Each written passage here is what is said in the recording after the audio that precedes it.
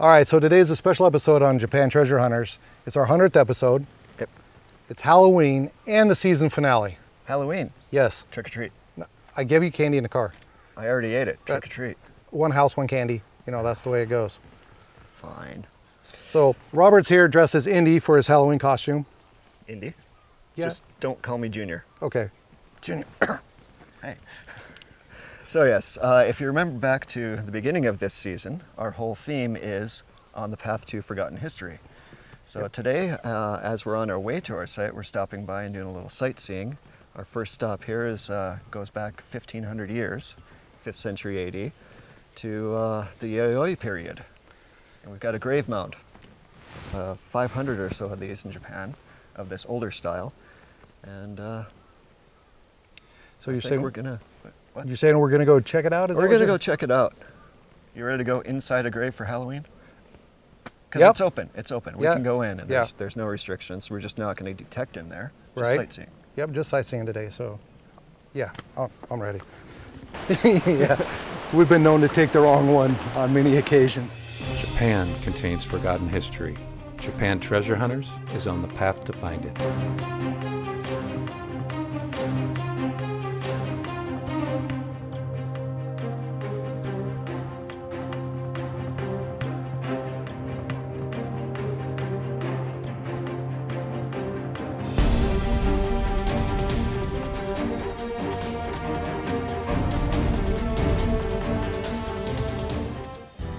On the season finale of Japan Treasure Hunters, the team visits a kofun and quarry in Yabazuka, Japan.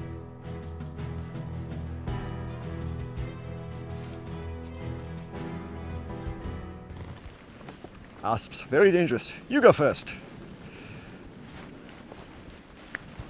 Here's your light. My light. Just don't look directly into the light.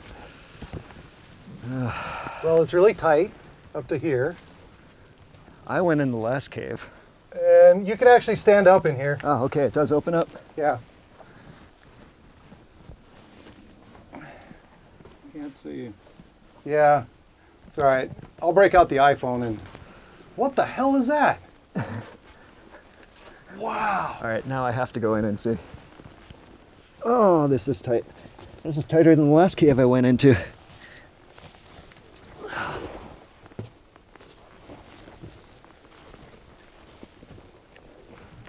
Oh, crickets. See that one? What the hell?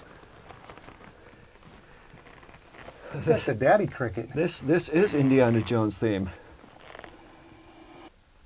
All right. But yeah, the number of bugs crawling around on the walls in here, it's very Temple of Doom.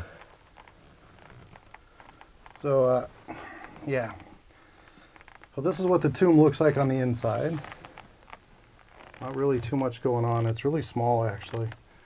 So, come over here, you can see some of these big bugs. It looks like a cricket, but they're huge. They're everywhere in here. Used to see a lot of these when I lived up in Niseko. End of the summer, they'd Ah.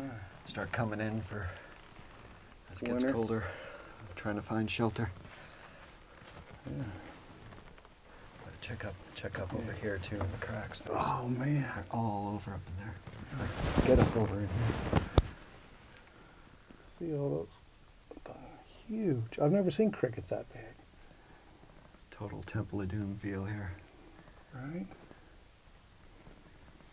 Wow, this is amazing. But yeah, I mean, historically, looking back at the, the level of stonework and um, really early, the way they're fitting the stones here, you know, it's not that tight fit where it's been carved into this into this uh, configuration, but this is like found stone, Yeah. a lot of it. Oh, somebody put a golf ball in here. That's a hell of a shot. Get bitten? No, no, no, no, no, no. No, on a golf ball. Oh, actually, I got something down in the car that would be great to use as we're coming out of this. Can't and shop giant spiders. Oh. Them crickets were like Yeah, this freaking like- big. I could be like, Robert, give me your whip. Did you want to go in, Josh? No. You sure? I'm good. I could hear a bit. I'm fine. Is- yeah, it's warm. Yeah, Yeah, it's, actually, it is quite warm. yeah. I can see that. I mean, the mound's getting a lot of sun, and I mean, it's insulated quite well. Yeah. Yeah, 1,500 years. That's amazing. Amazing. All right, ready to go to the next spot? Yeah, Let's go to the next spot. Now we can go do what we do. Let's go treasure hunt. Oh, hey. One yen right on the surface.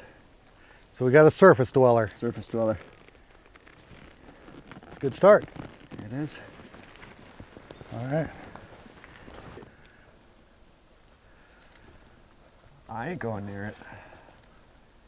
Me neither. Snakes. Why'd it have to be snakes? Breaking character, though, that. Oh, and there's a Tokage there, too. Little lizard column. Oh, I like his tail. Look at his tail. Yeah, he's got that nice blue. This, uh, this actually is an Aodaisho. It's a Japanese rat snake, non-poisonous, fairly docile. Oh yeah. Oh wow. Wow. Yeah, this is cool. Unbelievable. This is literally unbelievable. And, and didn't Jeff say this is where they dug out with like hand? Yeah, actually up there you can see the hand striations where they where they sliced. This is amazing. All done by hand, no tools. Yeah. Well, tools, but hand tools, not. uh, Yeah.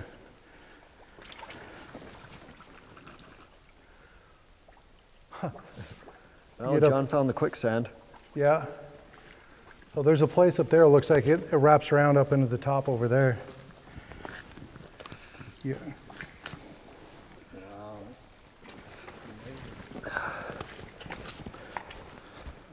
Whew, It's a little wet. Uh, it's completely it's completely wet going back down in there too. You know, it was raining a lot yesterday, but unbelievable. Okay, so how did they write up there? That is a great question.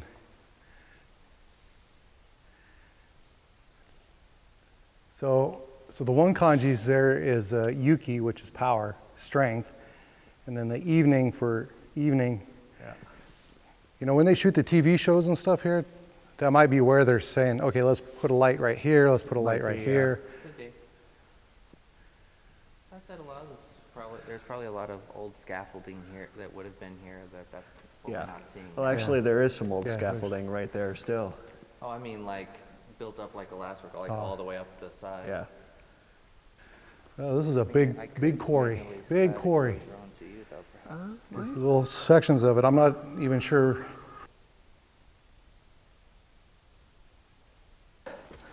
It's also pretty, pretty shallow, so should be right. Dang it, junk! Stop doing that to me. Get my hopes up. Next time. Oh. Uh, I think somebody was playing cricket up here. I thought I'd check out down through here, but the trail itself goes down those steps down that way. Oh, hits the steps. No, uh, Oh, over there? there was a set of steps back over there. Yeah, there's no step. Well, yeah, but then it's like, where does this trail go? Up that way. Yeah. It goes There's a up. set of steps down that way, which leads down into that. Yeah. Got a good little 80 tone here.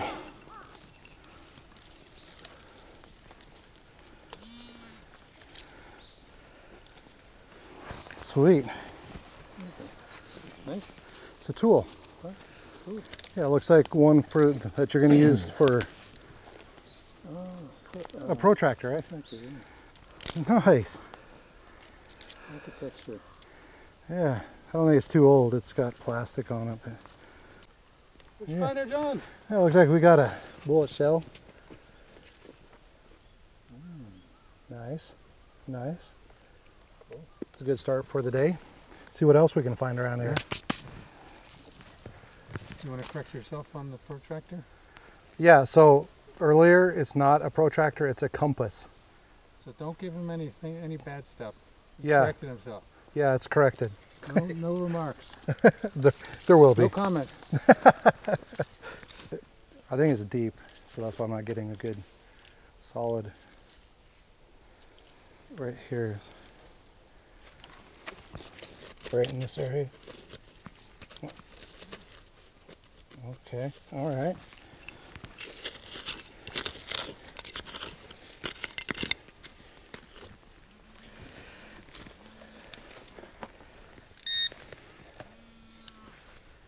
Another coin. Look at that, another 10 yen. I found three 10 yens in this little spot. At least they look like 10 yens. They may be older. I can't really tell what they are right now because they're so dirty. But I feel it's a 10 yen. Found three in this little spot. Nice. What'd I do with that in here? Oh, it's a little pendant. I'll get you the color. There you go. Pendant. Somebody lost their heart and their money here. it wasn't as good as Robert's jokes.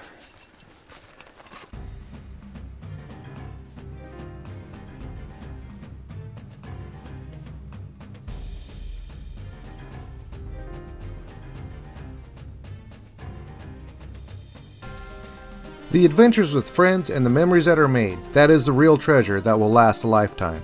So if you enjoy the journey, then detect that like, pinpoint that share, and dig that subscribe button. And we'll see you next time in Season 4 The Quest for Japan's Hidden Gems.